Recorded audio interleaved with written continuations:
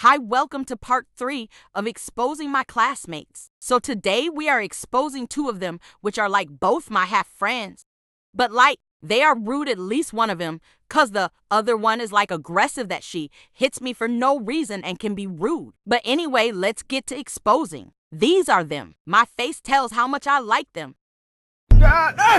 Let's call her um the queen of rudeness and her the tap hitter. Let's start. So when I was with the tap hitter, by the way this story happened today, we were Jays talking about something.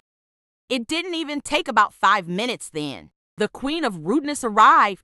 I was like in my mind, this place is about to blow. I even standed up cause I knew she was about to do Sims.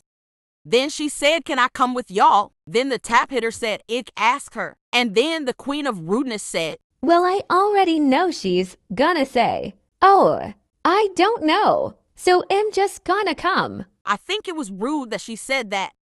I was like, okay. And always when I wanted to sit there, she just standed up and went down again on repeat. So yeah, but bye.